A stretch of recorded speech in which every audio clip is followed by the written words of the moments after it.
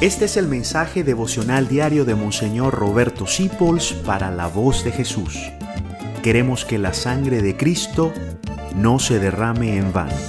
San Ignacio nos dice que veamos con mucho dolor que el precio de la sangre de Cristo en cierto modo se pierde de nuestra parte por ver tan poca gente que de él se aproveche.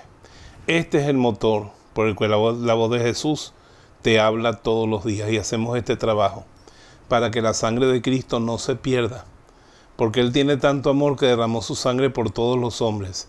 Pero si los hombres se endurecen en el pecado, esa sangre que se derramó por ellos va a ser más bien la causa de su condenación. Que la sangre de Cristo no se derrame en vano en mí. Y que la sangre de Cristo no se derrame en vano en la gente que yo amo.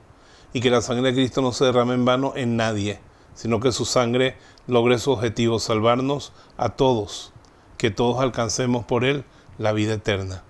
Dios los bendiga en el nombre del Padre, del Hijo del Espíritu Santo. ¿Qué haces tú para que la sangre de Cristo no se derrame en vano? Gracias por dejarnos acompañarte. Descubre más acerca de la voz de Jesús visitando www.lavozdejesús.org.be. Dios te bendiga rica y abundantemente.